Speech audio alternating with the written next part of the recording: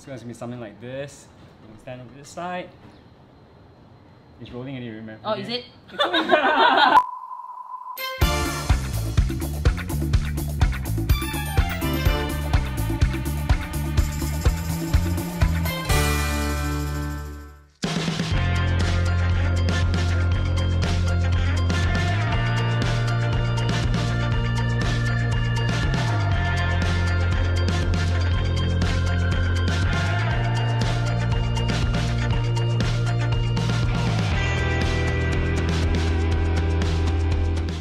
Good morning, good morning. Today I have with me Winnie and she's gonna actually gonna show us the traditional Poon Choi, which is just on time for that upcoming Chinese New Year.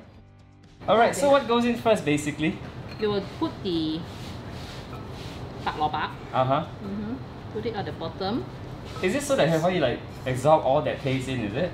Yes, yes. Ah. So, You're not giving her a secret recipe obviously, right? eh, a lot of work need to be done. Uh-huh. Um, we do it like uh, a night before. Right. So um, for the broth, Okay. you see. So like some of it, like um, the mushroom, you need to soak it like one and a half night before. It's all um, uh, quite some time. It is very tedious Yes, and very also this one you probably have to sort of like soak it like one or two nights before, right? Yes. Yeah. To- And also the seal, you, you make it yourself? Yes, siu yok, I make it myself. Oh wow. Um, I marinated the siu yok a night before also. Okay. And then um, yeah, I yeah basically most of the things I did it myself. Wow, that's what you call all the ho liao inside. Yeah. No wonder it's a festival dish. Yes, it's only it's only um served like during Chinese New Year Mm-hmm. when you have reunion dinner or um during. The best thing about the this dish is that you do not need to have other other side dishes anymore because you basically have everything into a pot. So this one that uh, you are showing us today, right? How many Mhm. people does it feed? feed? Six. Ooh. Six. So safe to say there's gonna be like six prawns and six prawns, Nice. everything could be Nice. six. You know, six abalone and six of everything. And basically people can order. Do they order like online from you, or do they call you directly, or how does They that work? They can order online from me Mhm. mm, in my Facebook um, Facebook page. The special broth is then added into the pun choi. This is really the secret sauce to this whole dish.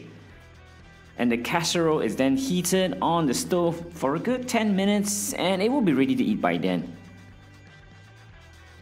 Okay, guys, moment of truth. Here we go. It's the Poon Choi. So I think what's interesting is that you know, as as long as you're vlogging food, right? These are one of the finer perks because you get to try firsthand. so it looks like. You guys.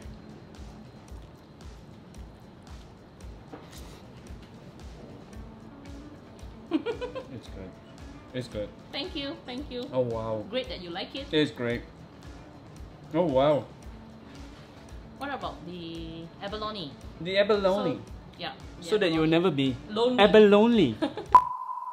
Did you pass this uh, recipe on to any of your family members or? Mm, at the moment, we Mhm. only me and my mother-in-law.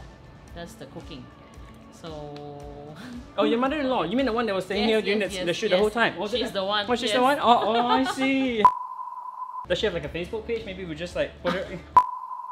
so there you have it, guys. Poon choy, and you saw that secret ingredient and all that labor and all that time that's put into it. So what I'll also do is I will leave down the links in the description section below so that you guys can also try out Winnie's Poon Choi.